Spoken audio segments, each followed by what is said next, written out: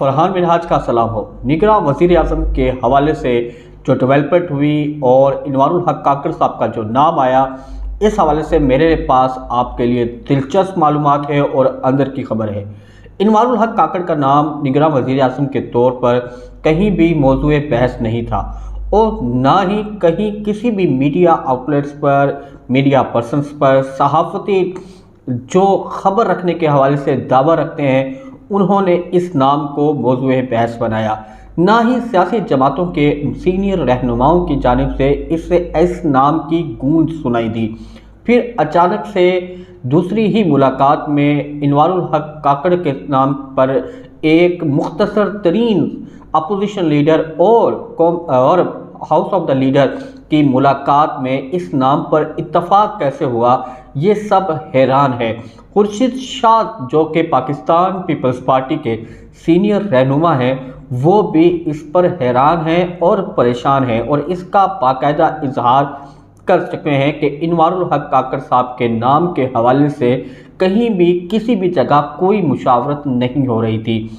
यानी ये मामला सियासी क्यादतों के दरमियान कहीं जितने भी नाम अगर लिए गए हों, उन नामों में काकड़ साहब का नाम कहीं भी मौजू बहस नहीं था। यानी किसी भी की, की जानब से भी ये नाम सामने नहीं रखा गया था। सादिक संजरानी साहब भी अगर लॉबिंग कर रहे थे तो वो अपने नाम पे लॉबिंग कर रहे थे। अगर साजिद इसहाक डार का नाम आया था तो वो नवाज़ शरीफ की जानब से नाम आया था। तजम्मुल हुसैन जलानी साहब का अगर नाम मार्केट में गर्दिश कर रहा था, बल्कि उसके हवाले से ये ख़बर भी मीडिया पर नशर हो चुकी थी कि तजम्मुल हुसैन जमाल तजम्मुल हुसैन जलानी साहब के नाम पर तमाम का इतफाक़ हो गया है। ये सबक डिप्लोमेट हैं और यूसुफ रज़ा गैलानी के कज़न हैं और एक वजी शख्सियत रखते हैं। लेकिन उसके बाद यह खबर भी मीडिया पे गर्दिश करती रही कि सबक वजी अजम मियाँ मोहम्मद नवाज़ शरीफ इसहाक डार का नाम वापस लेने पर राज़ी नहीं है और वो बजिद हैं कि इसहाक डार को ही निगरा वज़ीर अजम बनाया जाए।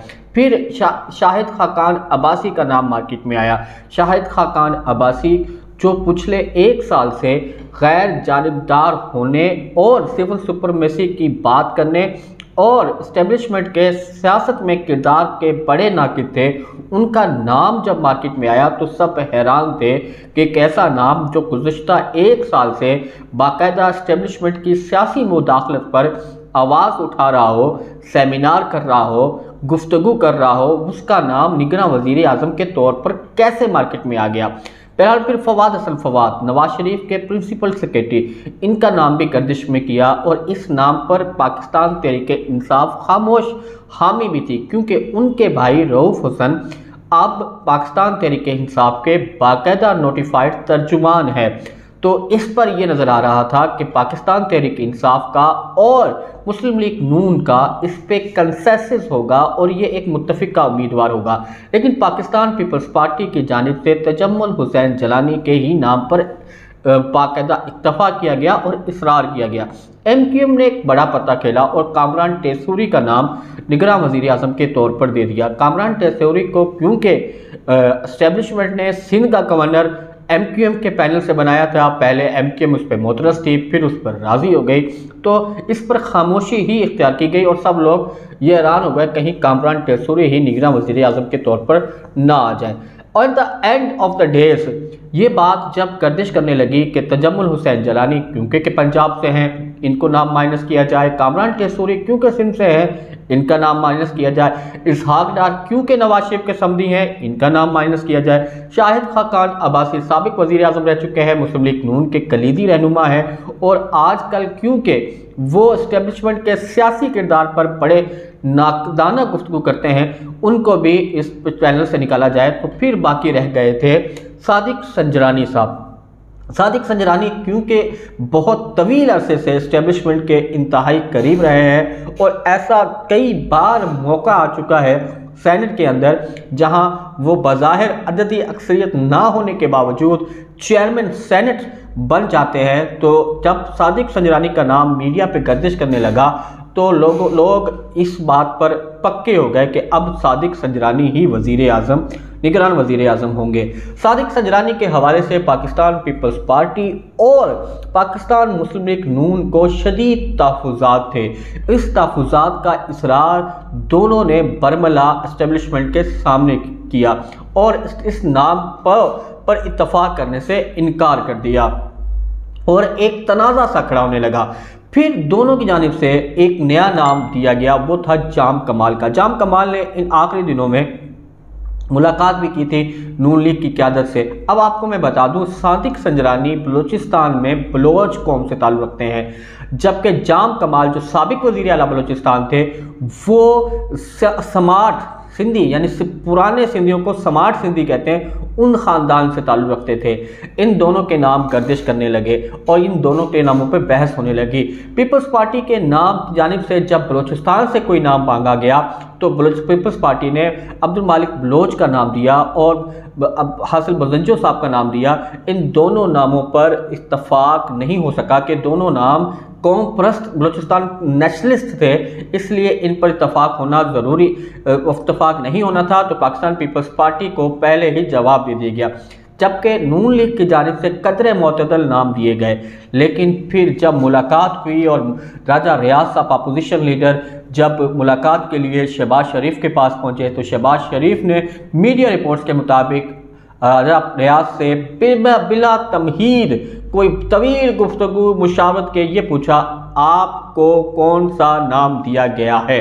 उन्होंने कहा कि अनवारुल हक काकड़ साहब। इस तरह इनवारुल हक काकड़ ना के नाम पर अपोजिशन लीडर और जो लीडर ऑफ़ द हाउस है, उन्होंने इस पर इतफाक़ किया और आकर मीडिया पर बता दिया कि ये नाम हमने फाइनल कर दिया है और देखते ही देखते समरी सदर ममलकत के पास गई और सदर ममलकत ने समरी को सिग्नेचर कर दिया और ये नाम फाइनल होकर सामने आ गया। इनवारुल्ला काकड़ साहब, बलोचिस्तान अवामी पार्टी के मुतहरक रहनुमाओं में से हैं। इनवारुल काकड़ साहब, सेनेट में सेनेटर हैं। बाप पार्टी के टिकट पर बलोचिस्तान से सेनेटर इनवारुल हक काकड़ साहब गुफ्तु में कमाल रखते हैं, अच्छी गुफ्तु करते हैं, अच्छी शहरत रखते हैं मीडिया में। लेकिन सेनेटर इनवान हक काकड़ साहब इस्टेब्लिशमेंट के इंतहाई करीबी माने जाते हैं और बलूचिस्तान के हवाले से जो इस्टेब्लिशमेंट की राय है वो सेनेटर इनवारुल हक काकड़ साहब की राय है।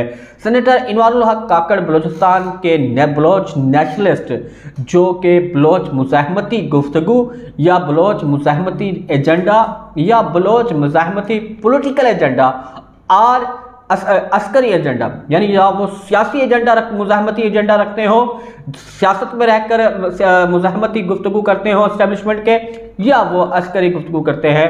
अस्करी गुफ्तु करने वाले के तो सब मुखालिफ हैं लेकिन वो पोलिटिकली भी जो इस्टेब्लिशमेंट के बलूचिस्तान के किरदार पर के नाकिद हैं उनके सबसे बड़े मुखालिफ हैं। इवन के सेनेटर इनवारुल हक काकड़ साहब ने सेनेट में जितने भी बलोच मिसिंग पर्सनस का मामला पर जो गुफ्तु करते हैं, उनको आड़े हाथों लिया था और इन तमाम बलोच मिसिंग पर्सनस को गैर, का झूठ का पलंदा करार दिया था और उन्हें वतन दुश्मन करार दिया था। यानी सेनेटर इनवारुल हक काकड़ साहब, बलोचिस्तान के मामला में जो इस्टेब्लिशमेंट की राय है, उसके सबसे बड़े दाई और उसको आगे लेकर चलने वाले हैं। अब देखना यह है कि सेनेटर अनवारुल हक काकर साहब इकतदार में आकर पहले हफ़्ते जो सियासी तौर पर इंतकाम का निशाना बताया जा रहा है पाकिस्तान तहरीक इंसाफ को उस हवाले से क्या फैसला जाद करते हैं? अभी उनका नाम का अनाउंस हुआ था तो तहरीक इंसाफ के फ़ख्र हबीब मुराद सईद और हमाद अज़हर उसके बाद मुहित पीरजादा शाहीन सबाई इन तमाम नामों पर पाबंदी पैमरा ने ना, नाफिज कर दी। तमाम मीडिया चैनल्स को ये कहकर कि ये तमाम के तमाम किसी न किसी केस में क्योंकि अदालत को मतलूब हैं और रूपोश हैं, इसलिए इनका नाम मीडिया पर ना लिया जाए। इवन के अदालती फैसले के मुताबिक नवाज़ शरीफ इश्तियारी है, उसका नाम उस लिस्ट में शामिल नहीं था। दूसरा, कल रात गए तरीके इंसाफ के कारकुनों पर एक नया क्रैकडाउन शुरू हुआ है। ये अभी उनके नाम के अनाउंसमेंट के बाद हुआ है। लेकिन इससे ये तासुर नहीं जाता कि इनवारुल हक काकड़ साहब के नाम के बाद अगर ये मामला हुए हैं तो आगे भी ये होंगे। लेकिन जैसे ही वो इंचार्ज होंगे, हलफ उठाएँगे उसके बाद क्या मामला होंगे, वो देखने होंगे। लेकिन ये बड़ी खबर अभी आपके लिए मैं बताता चलूँ कि इस पर एक तनाज़ा हो गया है कि सेनेटर अनवारुल हक काकर साहब ये चाहते हैं कि वो 14 अगस्त की तकरीर में खुद पार्टिसिपेट करें और वो तकरीर करें बाहसीत निगरान वजी अजम पाकिस्तान, जबकि शहबाज शरीफ का ये ख्वाहिश है कि वो चौदह अगस्त की तकरीब, यानी जश्न आज़ादी की तकरीब में बाहसत वजी अजम पाकिस्तान अपनी अलविदाई तकरीर करें। आप देखें इन दोनों का मुकाबले में कौन जीता है। लेकिन सैनिटर इनवाल हक काकर साहब के लिए मुख्तर ये कहें कि वो बापों के आदमी हैं और वो बापों का ही किरदार अदा करेंगे।